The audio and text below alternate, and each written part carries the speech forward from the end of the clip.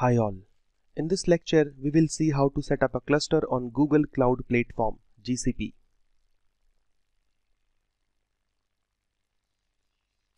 So what are the steps? Step 1 is create account on Google Cloud Platform. Step 2 is create a new project and step 3 is create a Spark cluster using Dataproc. So open the website cloud.google.com and click on the button get started for free.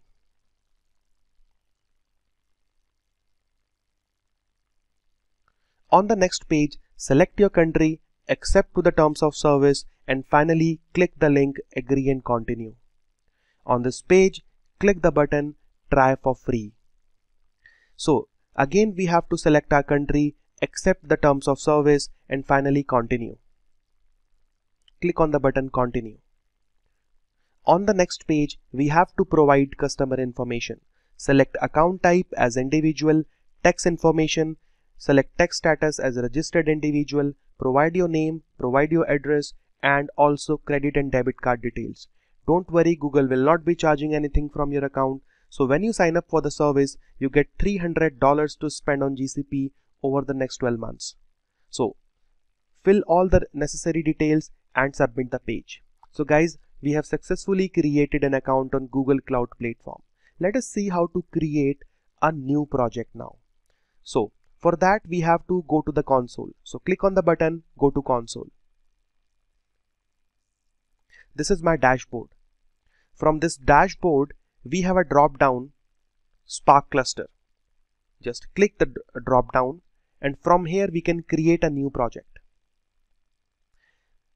Now on this page, provide a project name. So I'm gonna say CCA175 cluster and then finally click on create button. If you see the notification panel, our project is getting created in the background. This operation may take few minutes to get completed.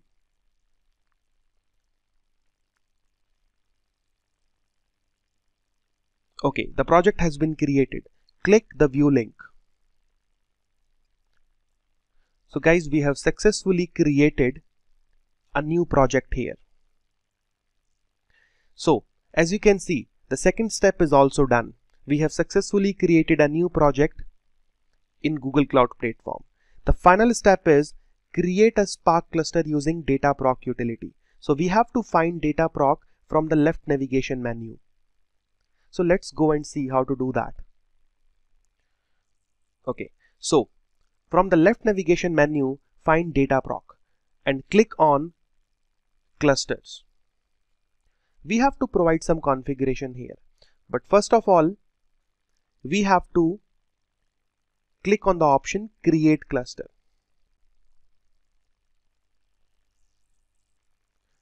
So on this page, first of all, provide your cluster name.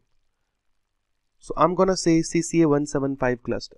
The next thing that we have to do is cluster mode. So we have to select single node cluster that is one master and zero worker. Third change is we have to select the machine type. So I'm to select N1 standard 8 that is 8 virtual core CPU and 30 GB of memory. Click the checkbox enable access to the web interfaces and go to advanced option because we have to change the image as well. In CCA 175, we have, we have to work with Spark 2.4.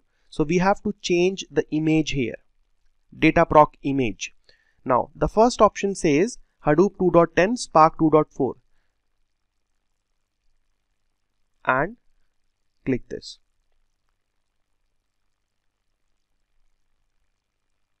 Okay, finally leave all other options as it is and click on the create button.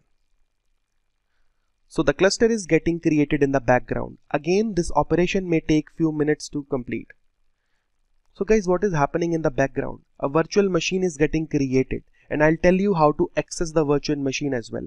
Now, open the cluster. So these are the cluster details. As you can see several tabs here. This tab is the monitoring tab in which we can see yarn memory and yarn pending memory. But as of now, we have to go to VM instances tab. Now, this is the virtual machine that was getting created in the background when we created our cluster. And on the right, you can see SSH link, which can be used to open the console. We will do that in upcoming sections. So guys, the third step is also done. We have created a Spark cluster using Dataproc successfully. Thank you.